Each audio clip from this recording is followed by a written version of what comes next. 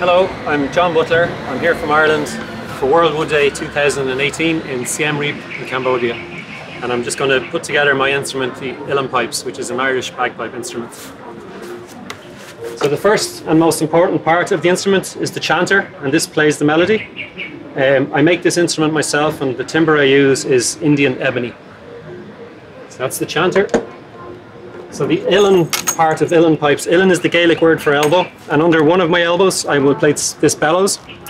So to put it on, first of all I strap to my arm. And the second belt goes around my waist. And this allows me to fill the instrument with air. So as I move my elbow in and out, I get an air stream coming out from here. And this is the part of the instrument that makes it a bagpipe. So I have the leather bag, which I plug into the bellows.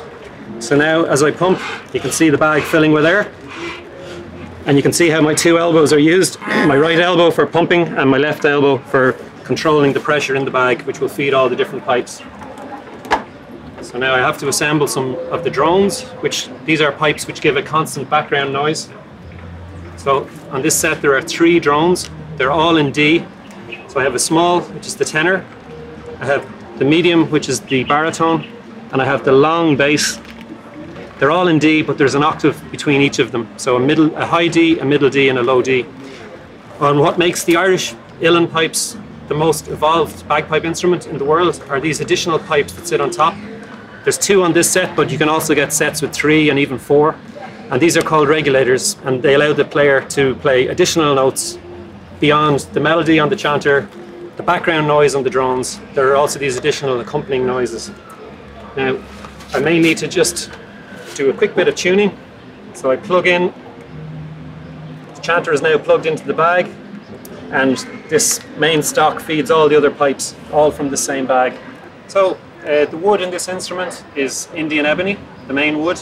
There's also some Castello boxwood, and in fact there's a reed in these instruments, all of these parts have a reed, and sometimes I use a wood called spruce to make the reeds. So when you assemble them, you just need to do a bit of tuning. So I just check the A on the chanter. And now I want to tune my drones to this. So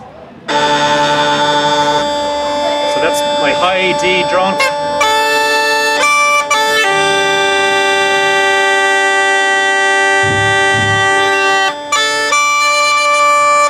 So now this is in tune with this, and the next step is to tune the other two drones to this drone. So I leave this off by pulling this trigger.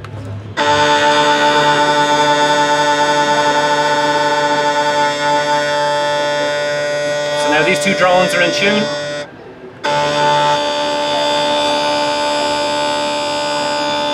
And these are in tune. three, three drones